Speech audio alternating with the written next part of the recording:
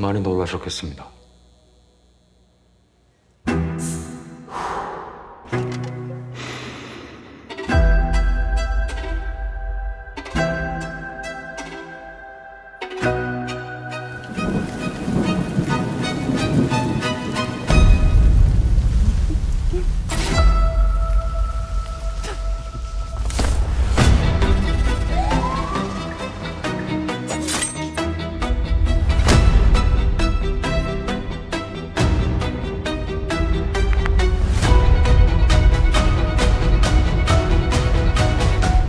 우리 일을 그렇게 말하지 말아요. 우리 일 무슨 일이?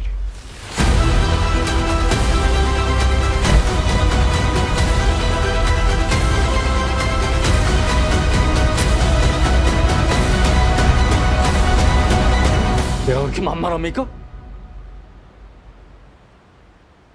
내가 그렇게 나쁩니까?